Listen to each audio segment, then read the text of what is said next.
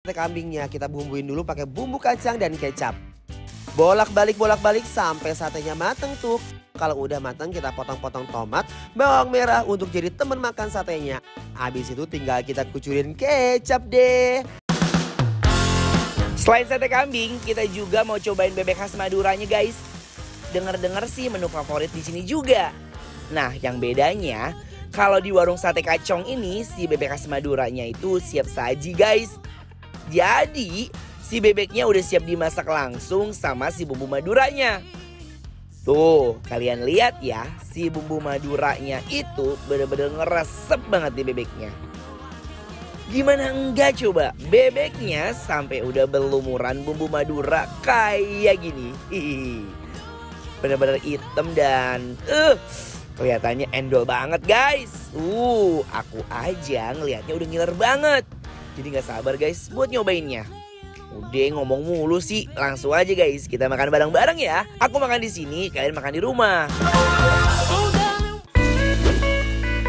Hei, sate sate. Hei, kipas dulu. Sumpah kibasnya segede banget. Nah, Oke, Besti. Ge.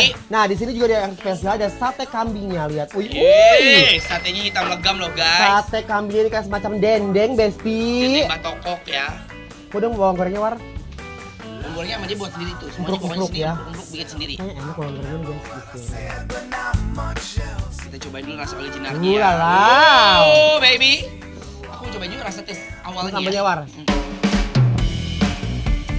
Ya ampun guys, hmm, pas aku makan dia bener-bener lezat banget.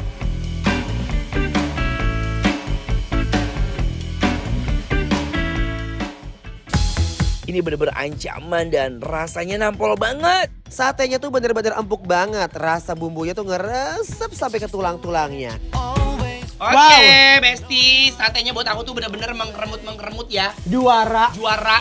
Dia tuh dari bakarannya, bumbunya tuh bener-bener kayak berulang kali bakar. Dia, aku lihat proses masaknya war. Ya.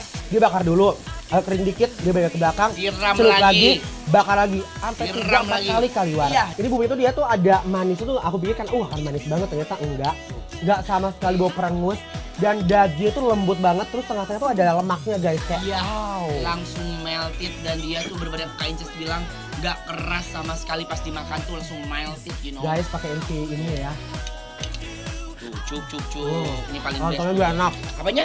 lontongnya enak. Oh. Ini mau kita lontongin ya. Lontong bikin sendiri. Uh, hebat ya.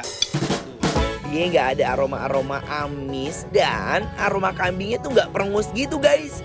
Jadi makannya lebih santai dan uh kita berdua bener-bener nikmatin. Guys, Gila. ini luar biasa, ngenah ke bina-bina guys. Kamu tau gak apa? Apa? Walaupun udah dikasih potongan cabai, bawang merah dan bawang putih, eh bawang apa namanya ini?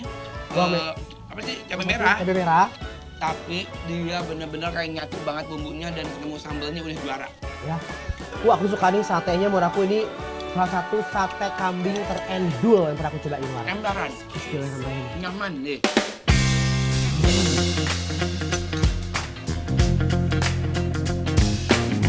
Bener-bener ya, kita berdua nggak bisa berhenti makan guys kalau gini caranya. Kecintaan banget sama sate kambingnya. Makan pakai lontongnya tuh emang udah paling pas dan cocok banget. Enak banget, Besti.